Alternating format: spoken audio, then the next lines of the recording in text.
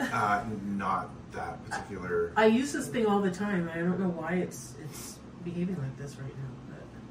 Is it me? Am I just like does tech not like function around me for some reason? Maybe you're cursed. But my I sister was like that with watches. Watches go. She can't wear a watch. I'm like that with watches and lights, and it really f- freaks Nick out.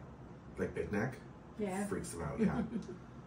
I'll be walking through a store, like going through IKEA, Testing, whatever. and I'm testing, like, testing. Oh, Okay. look at that lamp! I love that lamp. And I'll to touch it. The lamp will go out. yeah. Oh.